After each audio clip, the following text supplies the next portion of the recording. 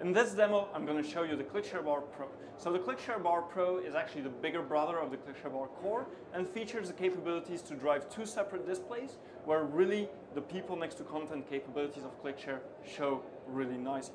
Now the ClickShare Bar is of course an all-in-one bar. It has the ClickShare inside of it together with speakers, microphones and cameras, which makes installation, maintenance, over the warranty time of the device, which is five years, by the way, uh, really easy, really cost effective for your small to medium meeting rooms.